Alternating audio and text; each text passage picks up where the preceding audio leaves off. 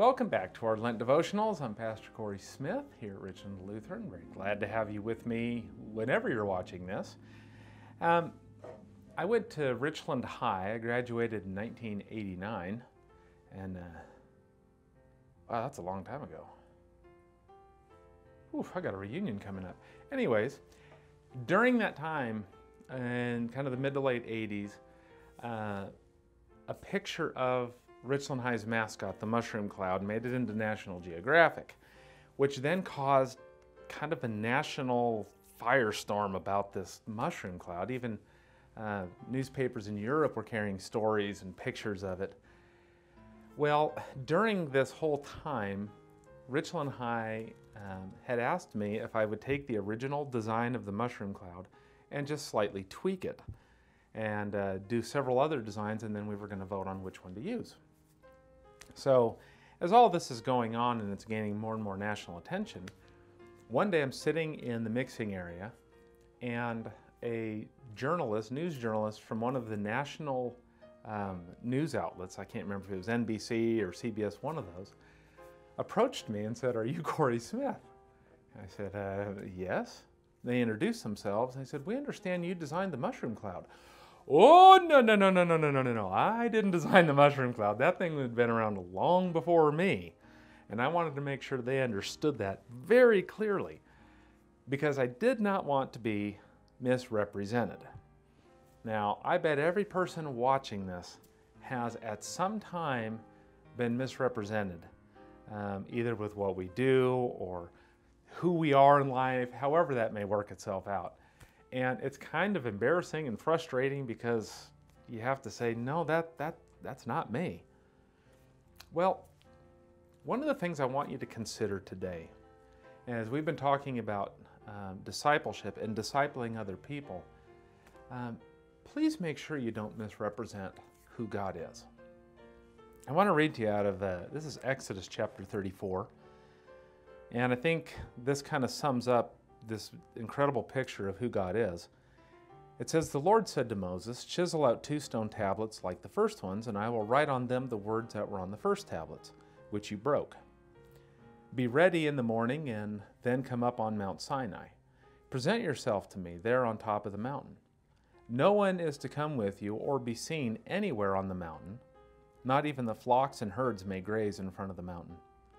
So Moses chiseled out two stone tablets like the first ones and went up Mount Sinai early in the morning, as the Lord had commanded him. And he carried the stone, two stone tablets in his hands. Then the Lord came down in the cloud and stood there with him, and proclaimed his name, the Lord.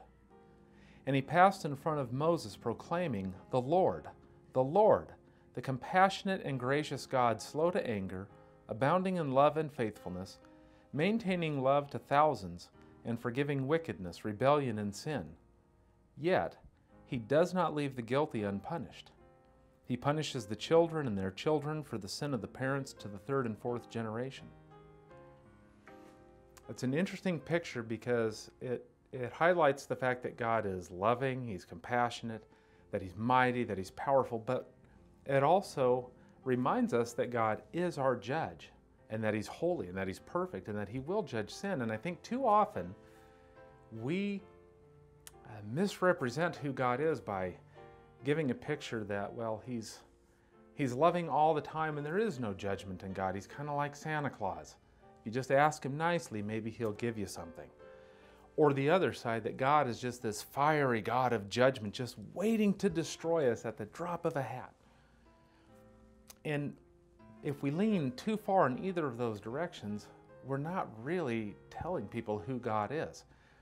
And as we're discipling people, you know, the point of discipleship is to bring someone along in their faith. Is we have to make sure that when we're telling people about who God is, we have to give them the full picture.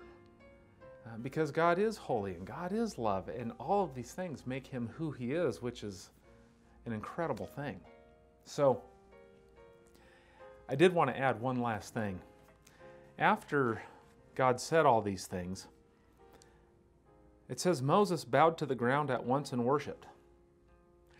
I think that's the key. That's the proper reaction when we truly get to see God for who He is and not some extreme or some way that we've tried to create him in our image, the natural reaction is going to be to fall down and worship him.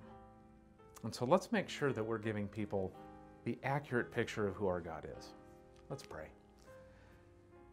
Lord, you know us. You know how uh, we like to try and, and create you in our image because it's easier that way. It's easy to focus on just the things we like to focus on about who you are.